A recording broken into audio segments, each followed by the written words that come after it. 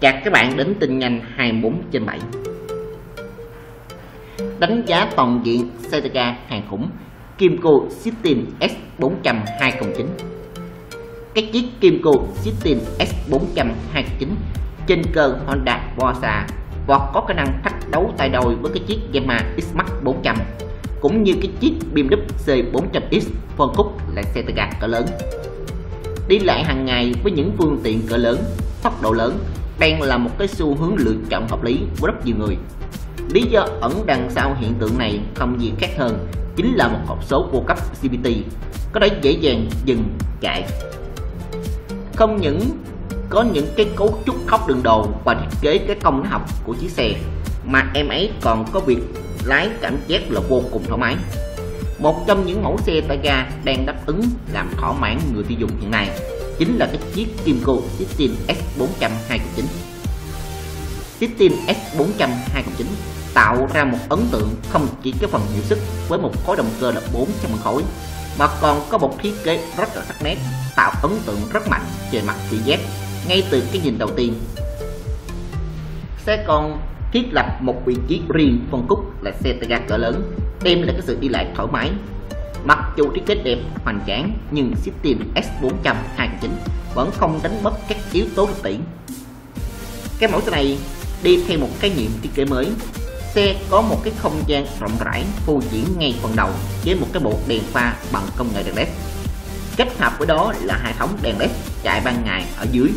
với một cái lối thẩm mỹ rất là xuất sắc. Các đường nét trên thân xe thì cơ bắp hơn so với cái chiếc System tiền nhiệm cái màu sen cũng được phối bắt mắt hơn và tạo cảm giác hình khối nhỏ gọn, giúp giảm bớt cái cảm giác đây là một cái chồng tay ga quá lớn như trước đó. Việc không thế mà làm giảm đi cái cảm giác hoành tráng và thể thao. Cái phần đuôi của chiếc tim S400 được nâng cao lên, chất bóng đèn led sắc nét. Cái phần thanh tay vịnh sau cũng được cắt đôi với cái bộ xi nhan sau tạo hình dáng như cái cặp sừng lật cực kỳ mạnh mẽ trên xe có rất nhiều trang bị tiện ích. Phía trước là một hốc đựng đầu nhỏ. Trong đó cái hốc phía tay lái của xe có một cái ổ sạc 5V tiện 2.1A USB có thể cung cấp một năng lượng cho thiết bị điện tử. Cái bảng đồng hồ hiển thị rất nhiều thông tin cần thiết, giúp người lái xe dễ dàng điều khiển hơn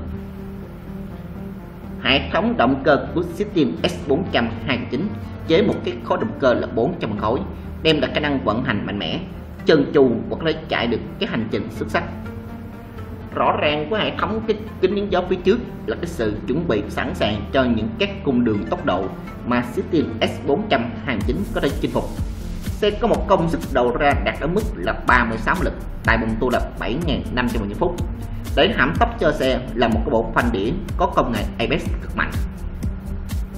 Đương nhiên, trọng lượng của em ấy là 213 kg Citin S429 khá nặng, với cái chiều cao yên là 805mm thì không phải ai cũng cầm cương được. Để lái được cái mẫu xe này thì phải mạnh, phải cao từ 1.7 trở lên đây được xem là hữu nặng ký của chiếc Yamaha X-Max 400 và Philips C400X 209